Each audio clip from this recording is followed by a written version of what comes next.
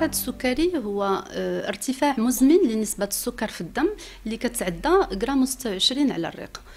هذا المرض في أنواع. كاين السكري رقم واحد اللي كيصيب الأطفال والشباب. هذا السكري عنده أعراض اللي كتبان بسرعة كفقدان الوزن العطش تبول شديد والعلاج ديالو تيتم مباشرة بالأنسولين. النوع الثاني هو اللي منتشر بكثرة هو le diabète de type 2 اللي آه، عنده علاقة مباشرة بنمط العيش كالتغذية اللي كتكون غنية بالمواد الدهنية وبالسكريات السريعة. أيضا عنده علاقة بقلة الحركة بالسمنة وهنا تتدخل آه، العامل الوراثي بشدة.